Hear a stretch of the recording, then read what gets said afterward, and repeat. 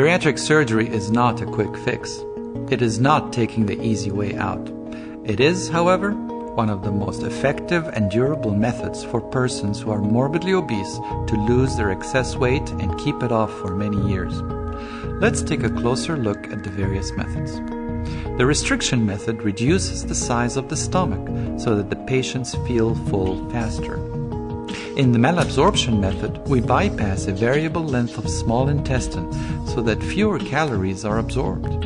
The most popular weight loss operation, the gastric bypass, is a hybrid of both restrictive and malabsorptive methods. So, with those three methods in mind, the staff at Clarian Bariatrics will determine on a case by case basis which operation is right for the patient.